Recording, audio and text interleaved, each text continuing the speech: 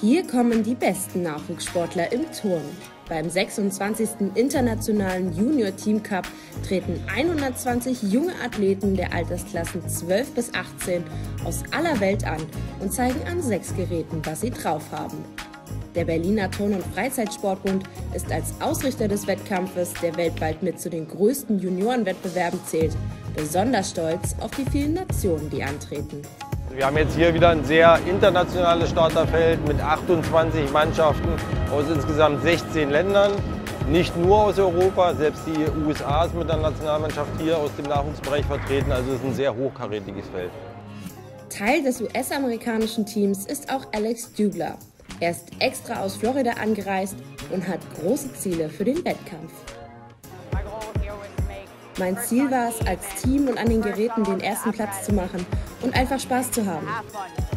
Und das ist dem 16-Jährigen gelungen, denn er gewinnt nicht nur Gold im Bodenturn, sondern steht auch bei seiner Lieblingsdisziplin Reck ganz oben auf dem Treppchen. Sichtlich erfreut ist auch Luis Lehnert über seine Leistungen. Für den jungen Berliner der Junior Team Cup immer etwas Besonderes. Macht immer Spaß, diesen Wettkampf zu tun für mich, auch weil es ist ein Heimwettkampf für mich. Ähm, ja, hat mir schon immer Spaß gemacht, der Wettkampf. Ähm, ist eine super Halle, super Geräte auch. Diese Euphorie zeigt sich auch in seiner Performance und so kann sich Lennart an seinem Lieblingsgerät, dem Pauschenpferd, aufs Treppchen schwingen.